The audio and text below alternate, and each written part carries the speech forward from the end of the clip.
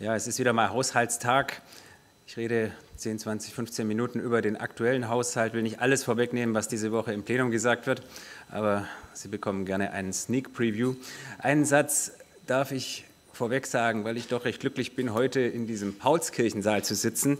Äh, das ist jetzt keine Vorwegnahme der zweiten Pressekonferenz, die gleich kommt, wirklich nicht, aber einen Satz erlaube ich mir. Es ist ein toller Name.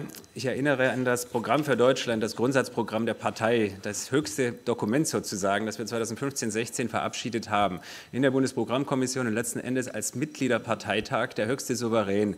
Und dort steht schon in der Präambel drin, in der Präambel, wir sind Liberale und Konservative, wir sind freie Bürger unseres Landes Landes, wir sind überzeugte Demokraten. Das sind genau die Stichworte, die zur Paulskirche passen. Alles davon. Man kann liberal, national, bürgerlich natürlich, unbedingt bürgerlich, äh, konservativ, rechtsstaatlich und demokratisch sein. All das wird in diesem Namen Paulskirche verkörpert. Und deshalb bin ich sehr froh, dass sich die Fraktion da mit guter Mehrheit dafür entschlossen hat. Alles Weitere hören Sie nachher im zweiten Teil der Pressekonferenz dazu. Aber es ist äh, kein zufällig gewählter Name. Ja, zum Haushalt 2020 steht an und die Finanzplanung bis 2023. Wieder mal stellt die Regierung keine seriöse Haushaltsplanung vor. Das wird Sie jetzt nicht weiter überraschen, dass ich das sage. Aber der Schein der Haushaltssolidität wird Stand jetzt noch aufrechterhalten. Auf vielerlei Ebenen ist es aber eben nur ein Schein. Noch weist man keine Schulden aus. Ich gehe mal davon aus, obwohl wir es ja nicht sicher wissen können in diesen Tagen, in denen das Klimakabinett erst noch tagt, dass Olaf Scholz in einer Stunde hier auch einen Haushalt weiterhin ohne Schulden offiziell ähm, vorstellen wird. Man darf vielleicht an der Stelle erinnern, dass die aktuelle Steuerflut äh, eine Leistung der Unternehmen und der Bürger des Landes ist und nicht äh, der Regierung. Also das ist mir schon ein wichtiger Punkt. Äh, die Politik, die aktuell gefahren wird, gängelnd, regulierend, äh, teilweise abwickelnd, wird am Arbeitsmarkt und im Haushalt ein Desaster ausrichten, auch wenn man es im Moment noch nicht aktuell an den Zahlen sehen kann. Die Steuereinnahmen sind nachlaufende Zahlen. Das wird ganz sicher kommen, aber dieses Mal hat Olaf Scholz noch Glück, dass äh, das Geld noch fließt. Trotzdem, er braucht auch unglaublich viel. Wir haben auch noch das Problem schon seit langem, dass die Einnahmeseite und die Steuerseite positiv verzerrt ist durch die unglaublichen Rückenwind seitens der Zentralbank, die EZB, obwohl wir ja eigentlich angeblich immer noch im Konjunktursommer sind, hat schon die nächste ähm, äh, ja, Injektion von 200 Milliarden angekündigt. Das ist alles Voodoo-Ökonomie mit Nullzinsen, das gab es noch nie. Es ist ein riesiger Rückenwind, ein Entschuldungsprogramm für den Staat äh, erspart je nachdem, wie man rechnet, bis zu 100 Milliarden pro Jahr allein durch diesen unverdienten Effekt. Das zahlen auf der anderen Seite die Bürger. Es ist äh, die Kehrseite der Medaille. Zinsersparnis, ich gehe darauf später noch genauer ein, das wissen Sie auch alles. Äh, ja, dann wird natürlich ein wichtiges Thema sein, der Soli, immer noch, der Dauerbrenner, aber man muss halt immer wieder drüber reden. Nach unserer Rechtsauffassung und nicht nur unserer, sondern auch des Rechnungshofs, des Wissenschaftlichen Dienstes, des Steuerzahlerbundes ähm, fehlt die Rechtsgrundlage für den Soli bereits ab 2020. Und das ist nicht nur ein theoretisches Problem, das ist auch ein sehr materielles. Damit fehlen 20 Milliarden schon im neuen Jahr. Das wird eines Tages erfolgreich eingeklagt werden, da bin ich sehr sicher. Vielleicht erst nach Olaf Scholz Ägide, aber es wird eingeklagt werden und das ist halt auch hochgradig unseriös. Über die gesamte Planungsperiode reden wir hier von 54 Milliarden, also eine gewaltige, ein gewaltiges Defizit. Es ist auch eine Vernebelung und leider ist es auch medial nie wirklich korrigiert worden, äh, von 90 Prozent nicht mehr Zahlern zu sprechen. Das stimmt auf der Zahlerseite, aber 50 Prozent des Solis bleibt erhalten und selbst diese 50 Prozent äh, ja, sind eigentlich, das ist ein reiner rhetorischer Trick. Ähm, ja, dann wäre natürlich der Bundestag heute und hier auch der Zeitpunkt und der Ort, über das sagenumwobene Klimabudget zu sprechen. Doch man liest zwar in der Presse, teilweise auch in der von Ihnen vertretenen Presse in den letzten Tagen, auch heute bis ins Handelsblatt rein, Kassensturz für die Klimarettung, ähm, vielleicht Steuererhöhung, vielleicht nicht, keiner weiß es. Wie auch immer, das Parlament hätte sich schon gewünscht, dass wir die Ersten sind, die davon erfahren, von diesen Details. Das Klimakabinett tagt jetzt tatsächlich erst in zehn Tagen. Und es ist wirklich eine parlamentarische Zumutung, dass wir heute über einen völlig unvollständigen Haushalt reden. Denn äh, zumindest der 2020er Haushalt ist wahrscheinlich bereits tangiert von Klimamaßnahmen, was auch immer das sein soll. Und die Planung bis 2023 wird auf jeden Fall tangiert sein. Und äh, wir wissen schlichtweg nicht, was kommt. Wir kennen eine Größenordnung, eine Zahl, die irgendwie gewürfelt ist oder auch nicht, oder aus den Ministerien kommt von 50 bis 60 Milliarden. 50 bis 60 Milliarden. Das wäre ja, wenn es 2020 käme, schon ein Zehntel und mehr des Haushalts. Auch wenn es über mehrere Jahre verteilt ist, ist das, es ist wirklich eine Zumutung, dass das nicht geht. Wir wissen auch nichts über die Instrumente genau. Es wird gemunkelt über die CO2-Steuer, über Zertifikate, CO2-Zertifikate, in welcher Form auch immer, über diverse Verbote. Äh, es wird nicht klar, was besteuert wird, wie viel es besteuert wird. Herr Altmaier spricht in der Presse inzwischen von einer Stiftung äh, zum Klima irgendwie, die wird aus dem Haushalt bezuschusst, wir wissen aber nicht wie. Äh, es ist auch, äh, Herr Söder spricht von Subvention, von subventionierten Anleihen des Bundes, die also positiv rentieren. Wo soll es denn herkommen? Es gibt keine positive Rendite im aktuellen äh, Voodoo-Markt der Zentralbanken. Trotzdem verspricht Herr Söder das, inzwischen auch andere Minister. Herr Scholz hat sich auch bereits dafür erwärmt. Das ist eine absehbare Subvention in Milliardenhöhe. Das ist auch eine Planwirtschaft. So werden Gelder in falsche CO2 oder was auch immer Projekte gelenkt, die, äh, die der Markt lenken muss. Das ist nichts. Herr Söder kann hier nicht die Regeln des Kapitalmarkts abschaffen über Nacht. Und genau das hat er versprochen. Ja, Kohleausstieg, das ist auch energetisch, umwelttechnisch und ökonomisch ein grotesker Vorgang, das bereits genehmigte oder sogar laufende, nagelneue, relativ saubere Kraftwerke gar nicht ans Netz gehen. Auch das wird Entschädigungszahlungen in Milliardenhöhe nach sich ziehen. Wir haben das alles schon mal durchgemacht bei der AKW, beim AKW-Ausstieg, beim Kernkraftausstieg gab es inzwischen erfolgreiche ähm, Entschädigungsklagen von RWE und Vattenfall. Das gleiche wird bei Kohle auch passieren. Aber auch das interessiert diese Regierung nicht, weil sie ja, da höchstwahrscheinlich in der Form nicht mehr am Amt ist. Ich werde nachher noch, muss man jetzt nicht alles hier nochmal durchgehen oder jetzt schon vorwegnehmen, auf viele, viele Risiken eingehen, die nicht im Haushalt drinstehen. Die Brexit-Zusatzkosten sind zu gering kalkuliert bzw. gar nicht kalkuliert, zumindest nicht in der Finanzplanung. Die EU-Zahlungen Deutschlands sind auch nicht so hoch, wie es Olaf Scholz bereits in Brüssel versprochen hat, eingestellt. Der Digitalfonds Breitband wird wieder mal nicht aufgefüllt dieses Jahr. Investitionen sind wieder mal bei 10 Prozent des Haushalts, das ist relativ gering. Wir haben Migrationskosten im Sozialetat, die unserer Ansicht nach auch zu gering kalkuliert sind, insbesondere die Kompensationen der Länder und der Kommunen. Und das ist wichtig, diese Kompensation, weil sonst die Kommunen den hauseigenen Aufstand gegen die Regierung proben werden, selbst die linken Kommunen. Ja, dann haben wir noch die bedingungslose Grundrente, das Lieblingsprojekt von zumindest Teilen der Regierung, die SPD-Teile, ist nicht eingestellt im Haushalt, auch nicht in der Finanzplanung. Ich habe noch Sonderrisiken, da gehe ich nachher noch drauf ein, aber vielleicht lassen wir es mal dabei. Wir kommen einfach zum Fazit, dass äh, ideologisches Geld wieder mal einiges eingespart werden könnte, auf der anderen Seite unglaublich äh, wichtige Teile schlichtweg fehlen, einiges unbekannt ist und dass deutsches Geld endlich auch mal wieder für deutsche Bürger genutzt werden könnte.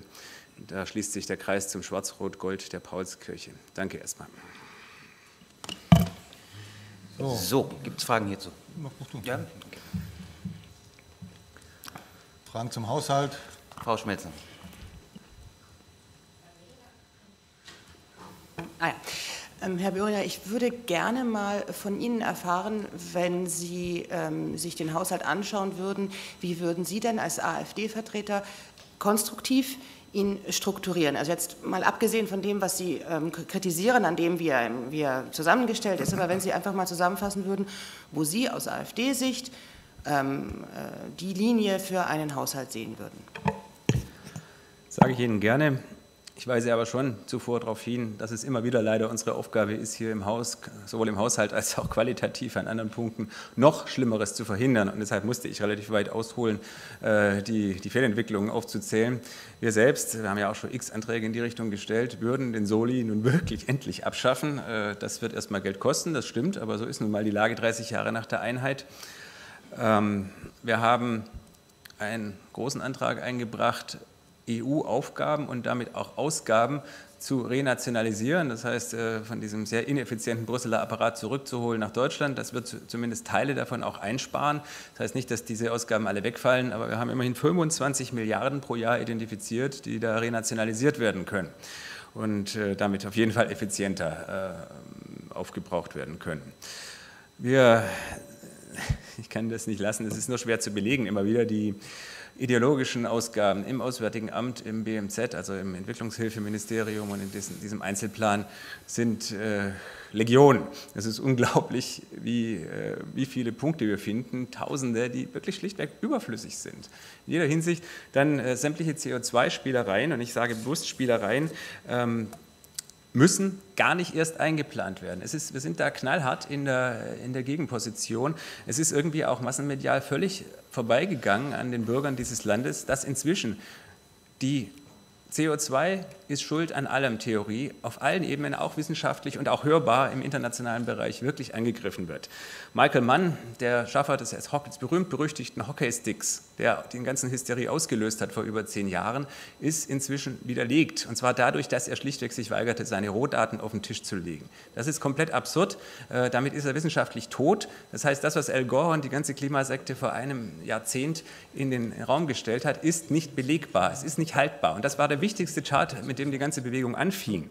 Wir haben inzwischen klare Aussagen, wie dieser ähm, 97-Prozent-Konsens der Wissenschaftler zustande kam. Äh, nämlich durch statistische Tricks. Man nehme 100 Studien, äh, schaue sie alle an und stelle sie seiner These gegenüber und wenn sich 95 dieser 100 Studien nicht mit der These befassen, nimmt man sie als nicht widersprechend und damit Teil des Konsenses. So ist 97, der 97-Prozent-Konsens zustande gekommen. Praktisch keine einschlägige Studie hat sich wirklich konkret mit den autochthonen Auswirkungen des autochthonen menschengemachten CO2 auf das Weltklima beschäftigt. Dieser ganze äh, Konsens ist nicht haltbar. Und hinzu kommt, dass in der Naturwissenschaft ein, so, äh, eine These nicht mit Konsens entschieden wird, sondern falsifiziert ist, wenn auch nur einer valide widerspricht. Der eine war vor ungefähr vier Tagen, das äh, können Sie vielleicht auch mal aufnehmen, Patrick Frank, äh, Stanford-Uni-Professor, äh, der in einer sehr ausführlichen wissenschaftlichen Arbeit veröffentlicht in Frontiers in Earth Science erst vor ein paar Tagen äh, praktisch alles widerlegt hat. Äh, Klimawandelmodelle können die Erdtemperatur nicht voraussagen, das äh, war schon länger bekannt. Alle Berechnungen der Temperaturentwicklung sich sind falsch, siehe auch auch die rückliegenden Mann-Extrapolationen sind widerlegt. Aussagen über den Einfluss von CO2 auf das Klima sind bedeutungslos. Ich kann jetzt noch lange weitermachen, das machen aber wahrscheinlich die Kollegen heute, äh, diese Woche in der bei den Umweltetats. Ähm, ich habe nur so lange ausgeholt, weil das nun mal das zentrale Thema ist bereits und werden wird in den nächsten Monaten und 50 bis 60 Milliarden aller Voraussicht nach vom Klimakabinett kommen werden. Äh, das ist alles vollkommen überflüssig und wir bleiben dabei, dass hier unglaublich viel gespart werden kann. Äh, und dann ist vielleicht die schwarze Null wirklich zu halten. Leider fehlen da noch die von mir bis jetzt noch nicht genannten, heute noch nicht genannten Euro-Rettungskosten, die wir natürlich auch abstellen müssen. Also die permanente Euro-Rettung, die nicht unbedingt liquiditätswirksam ist sofort, aber uns jeden Tag eine halbe Milliarde Euro kostet. Jeden Tag. Das ist die Haftung, mit der Deutschland jeden Tag in Zusatzhaftung geht, um den Euro überhaupt am Leben zu halten. Das sind alles Dinge, die, die für die Zukunft völliger Wahnsinn sind. Und deshalb ist es so wichtig, dass man diese Fehlentwicklung stoppt. Wenn man eine ähm, ein Wasserrohrbruch im Haus hat, muss man erstmal den Haupthahn abdrehen und dann kann ich äh, auf die kleineren, äh, auf den, aufs, ans Aufputzen gehen. Äh, aber wir müssen es schaffen, den oder vielmehr die Haupthähne abzudrehen. Nachfrage. Nochmal eine Nachfrage, wenn Sie sagen, äh, EU-Ausgaben renationalisieren, könnten Sie da vielleicht so zwei, drei Beispiele anbringen? Danke. Gut, also ich lasse Ihnen gerne den Antrag dazu zukommen. Der ist vor etwa acht Wochen im Bundestag gestellt worden, mehr oder weniger vor der Sommerpause. Ähm, die Natürlich sind das in erster Linie Agrarsubventionen, das ist nach wie vor ein großer Teil des Haushaltes äh, und da kommt relativ viel, muss renationalisiert werden. So war das auch lange Zeit, aber ja, das ist eine Fehlentwicklung der EU schon seit den 90er Jahren, dass da immer mehr äh, noch nach Brüssel gezogen wird und ja, der, der ganze Apparat ist auch viel zu groß. Also wir haben auch einiges in der Verwaltung identifiziert, aber ich würde Sie an der Stelle darauf verweisen, dass wir Ihnen das Papier zukommen lassen, bitte. Lindner wollte noch. Ich hatte mich zwar nicht gemeldet, aber dann stelle ich trotzdem gerne eine Frage. Ähm, es geht nochmal um den Punkt, ähm, Herr Böhringer, Sie haben eben von sogenannten ideologischen Ausgaben gesprochen und Sie haben sie kritisiert als unnötige Fehlausgaben. Könnten Sie das bitte mal genau beziffern? Sie werden es ja sicherlich auch mal ausgerechnet haben. Das, das werde ich auch von, meinen, von, unseren eigenen Anhängern im Wahlkampf oft gefragt. Das ist nur unglaublich schwierig, weil diese Punkte, äh, Sie müssen sich vorstellen, ich hätte es gerne mitgebracht, der Haushalt hat 6000 Seiten. Hat 6000 Seiten und äh, die Schwerpunkthaushalte auch mehrere hundert Seiten. Da stecken Zehntausende von Positionen drin. Jedes Mal, wenn wir nachbohren, irgendwo bei einer ähm, äh, Position, wo wieder Vereine Geld bekommen, die es eigentlich gar nicht geben dürfte, finden, bekommen wir Antworten mit 70 Seiten. Es ist wirklich schwierig, das aufzuaggregieren. Wir sind dran. Das gleiche Thema übrigens auch bei den Migrationskosten. Wir sind jetzt bei der vierten Anfrage im Bundestag inzwischen ähm, und versuchen es immer noch schärfer zu fassen, weil die Bundeswehr, Bundesregierung niemals die gesamten äh, gesamte Antwort gibt. Äh, es läuft gerade wieder eine Anfrage vom Kollegen Curio, auch von mir, von vielen anderen, die wirklich ressortübergreifend mit einer sehr scharfen, weitgehenden Definition mal die Migrationskosten, die letzten Endes auch ideologische Kosten sind, äh, aggregieren will. Die offizielle Aussage der Bundesregierung sind 20 Milliarden im Bundeshaushalt. Äh, wir glauben diese Zahl nicht. Wir glauben, dass sie bereits jetzt erheblich höher ist. Und äh, es ist alles eine Frage der Definition. Und deshalb tun wir uns nach wie vor, auch nach eineinhalb Jahren, immer noch schwer, ähm, das alles zu machen. Man muss eigentlich schon fast fast die Ministerialbürokratie haben um, und eine neutrale Ministerialbürokratie noch dazu mit äh, Weisungsbefugnis als Regierung, um diese Dinge wirklich aufzuaddieren. Wir sind aber dran, äh, auch unsere eigenen Mitglieder stellen mir diese Frage ständig. Direkt dazu. Ja, jetzt nochmal eine Frage zu einem anderen Thema, ähm, Herr Böhringer, aber was auch mit Haushalt zu tun hat. Äh, wie würden Sie denn zum Beispiel bei den Verteidigungsausgaben vorgeben? Das ist ja ein Punkt, der innerhalb der Regierung durchaus umstritten ist. Mich würde ja. mal da die Position der AfD interessieren. Wie viel Geld sollte denn Ihrer Ansicht nach äh, im ja. Haushalt für Verteidigung dann eingeplant sein? Und wo sollte das Geld dann herkommen dafür, wenn man weiterhin bei der schwarzen Null bleiben will? Auch das ist eine wichtige Diskussion äh, zwischen der Regierung sowieso. Und da herrscht in der Tat, wie Sie sagen, Uneinigkeit zwischen Verteidigungsministerin und Finanzminister, vielleicht nicht unbedingt für 2020, aber für Mittelfrist. Also der Punkt ist ja vor allem die Mittelfristigkeit, auf die Sie abheben. Da steht das berühmte 2-Prozent-Ziel der NATO im Raum. Auch das 1,5-Prozent-Ziel der NATO, das ja eigentlich von der Regierung eher auf 1,5 Prozent definiert wurde.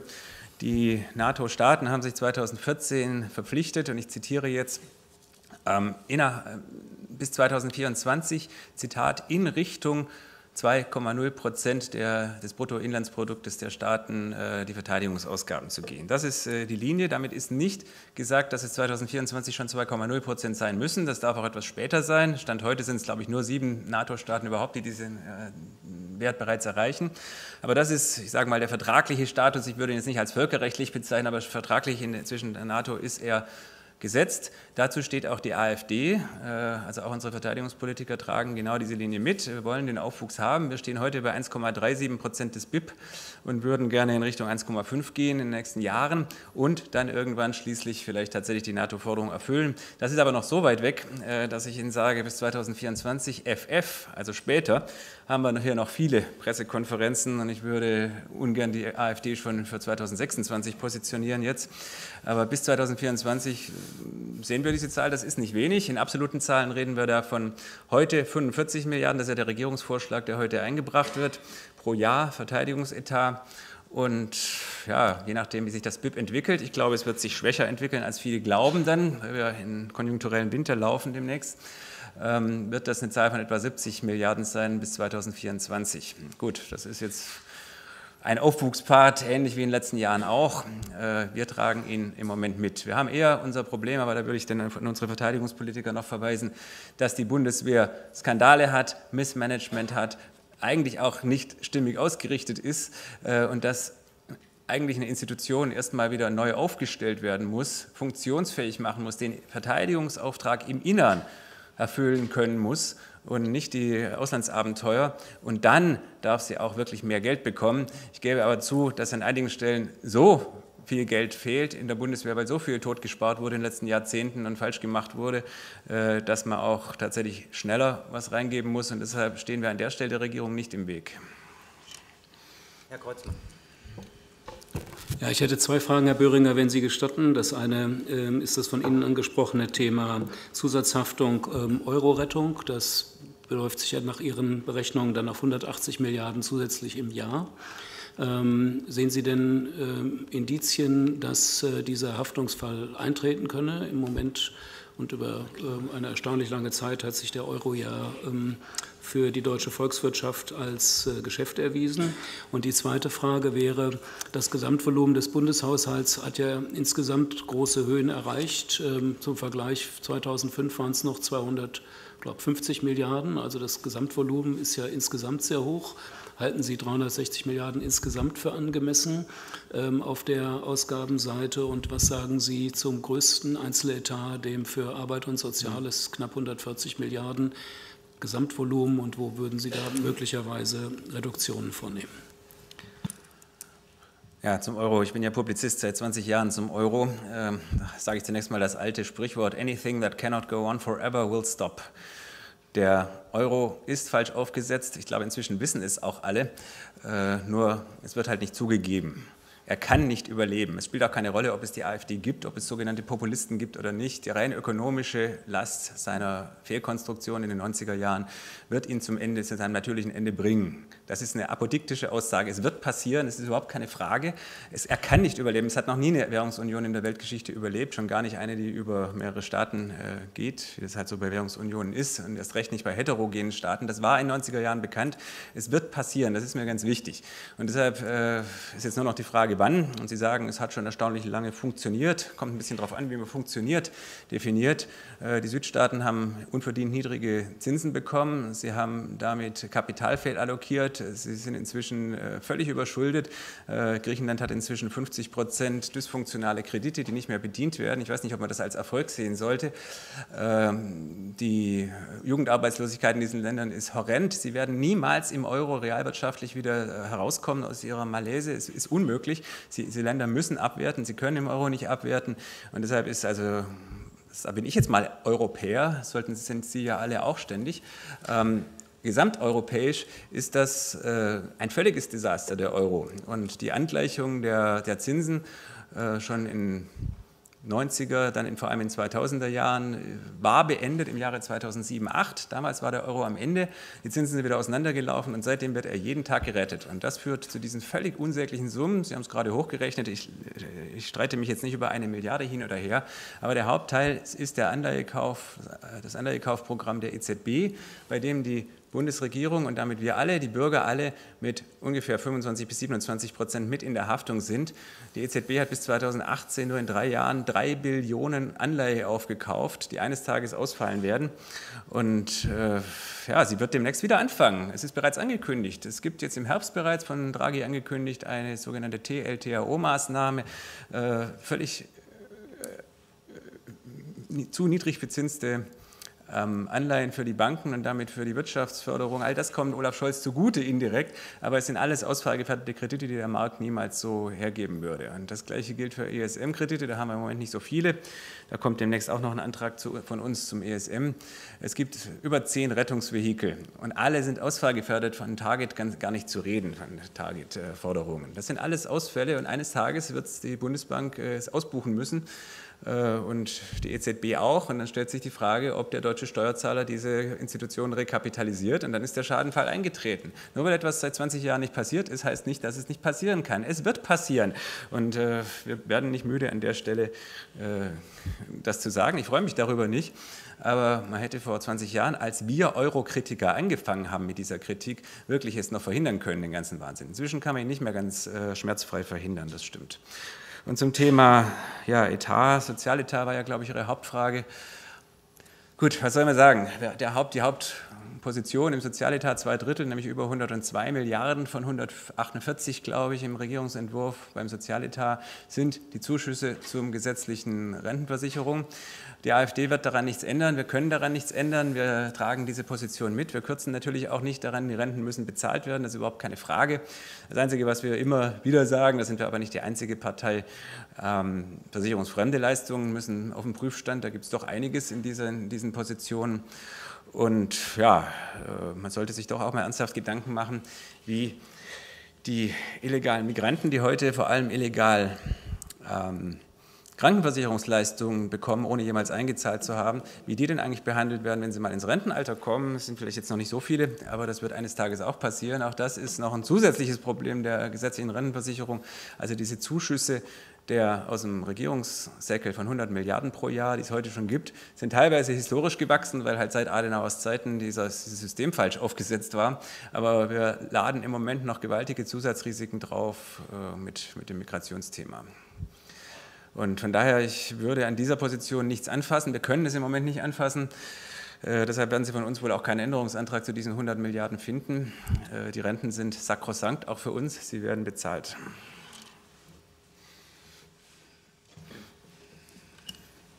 So, gibt es noch weitere Fragen an Herrn Böhringer? gucke noch einmal, nicht der Fall. Doch, bitte. Ähm, Herr Böhringer, doch nochmal, Sie haben eben gesagt, äh, die Zusatzkosten, die äh, vor allem im Rentenbereich kommen, äh, die gehen in große Höhen durch die illegale Migration. Können Sie das mal beziffern? Wenn Sie jetzt von großen Summen sprechen, muss Sie ja irgendwas dazu bewegen, auch das Wort groß zum Beispiel zu verwenden. Können Sie da mal eine Summe bitte zu nennen? Gut, also wenn Sie zugehört haben, ich habe gesagt, dass es auf uns zukommt. Das ist heute noch nicht, noch kein Problem des Haushalts. Diese Leute sind ja weitgehend doch noch relativ jung.